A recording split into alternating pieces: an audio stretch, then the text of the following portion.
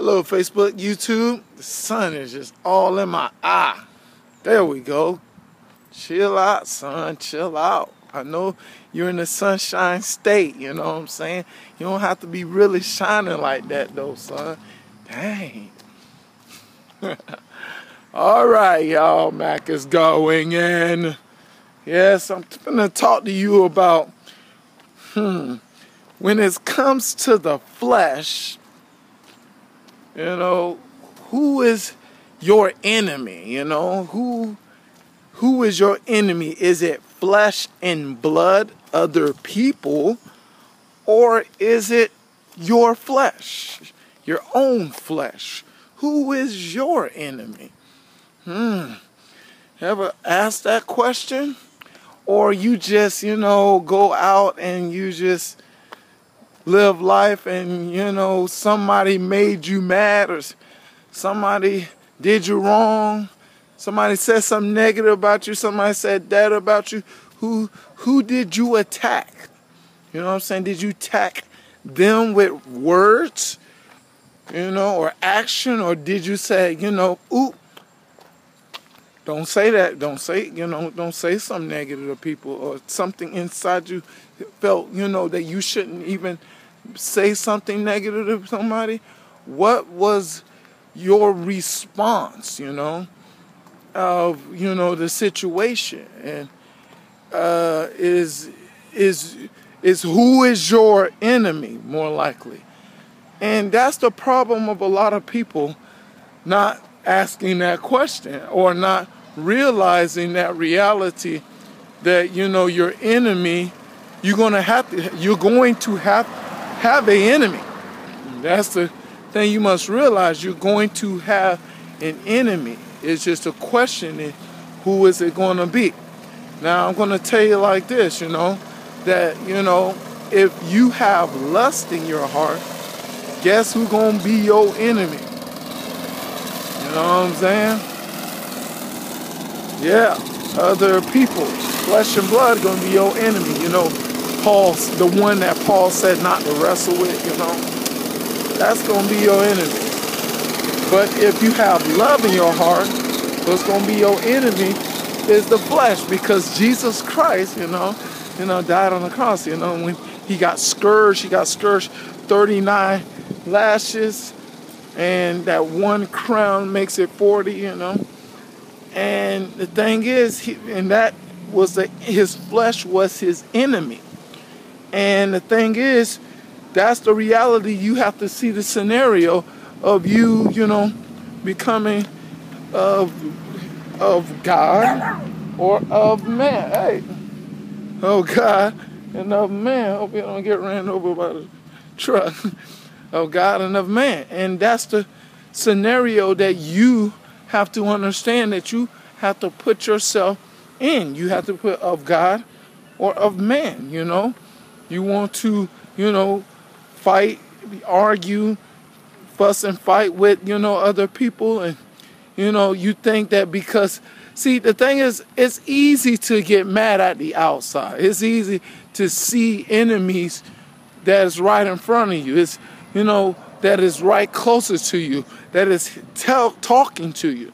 You know, those enemies that I found out that are seen are easy to become enemies because they're easy to see to respond to. But it's difficult to respond to an enemy that is unseen, that, you know, it requires to question yourself concerning what's inside of you, your mirror. Or, you know, more likely, you have to understand to learn to examine your heart and examine your mind, and examine your motive, or you ask the Lord to do that and see if there's anything that is inside you that is not like God to get out of there so you can be on the fight against what's within you. And you know, hey, it's easy to fight what's outside of you because, you know, outside of you, you know, it can easily make you mad and make you respond to it. But it's hard to fight what's inside you because it's you. Aha, because it's you. And, and, and it hurts the flesh and you hurt and you feel bad and you feel ashamed and you feel, you know, so, you know, uncomfortable. You know, that's why nobody's not fighting this. You know what I'm saying? Nobody's not fighting it. And this, now watch this. This that's inside you is going to, when it dies, it's the soul is going to go up to the Lord. And there's going to be you're going to see, like the Bible says, everyone, when absent from the body, is present from the Lord. Everybody quote that like it's a, yeah, I'm in front of the Lord. I'm like, well, I wonder if they know about the Lord, Lord list. How you doing? I wonder if they know about the Lord, Lord list. You know, say, Lord, Lord, I did this in your name. Lord, Lord, I did that in your name. You work of iniquity, I never knew you depart from me. You know what I'm saying? That's not a good. I mean, that can happen if you're in front of the Lord, or you want to hear done. Well done, my good and faithful servant. You know what I'm saying? You may be faithful for a few things, and you know I'm ruler of anything. You know that kind of stuff. But thing is, you know, the thing is, what's inward is going to hear a report concerning if a good report is the well done report, but. Uh, when you're wrestling against flesh and blood and uh, and you're working at iniquity, you're gonna hear that depart from me. I never knew you. You know what I'm saying? That's how I go. And it's a crazy situation that you know people are not respecting. That's the thing. that People are not respecting this reality concerning how they do things. You know, you know they don't reverence God and not in Jesus Christ. Not enough because Jesus Christ the one said it. Going to be many said, Lord, Lord, I did this. Lord, Lord, I did that. I mean, it's just like, it's a game to everybody. But look, life is not a game.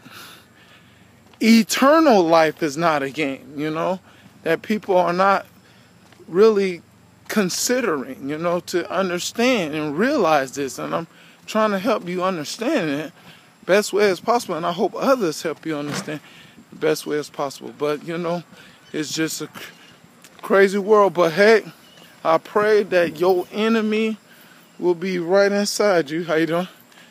And you fight that flesh, and you kill that flesh. You murder that flesh. You know, prayer, fasting, best way as possible.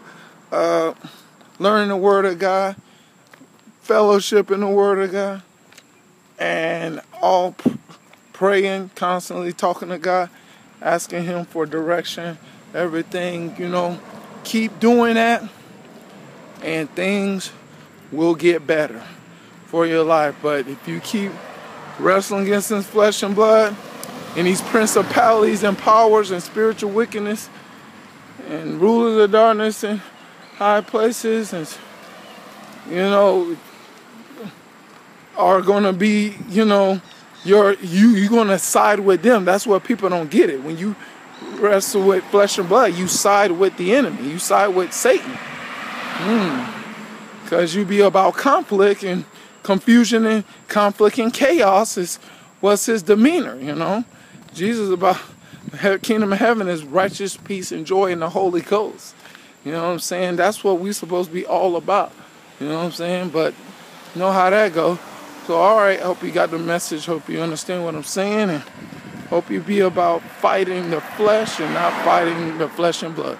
To God be the glory to Him forever and ever. In Jesus' name, amen.